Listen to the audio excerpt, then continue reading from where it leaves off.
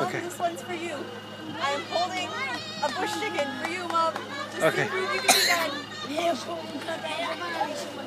Where do I put it? In the back. Where? In the back.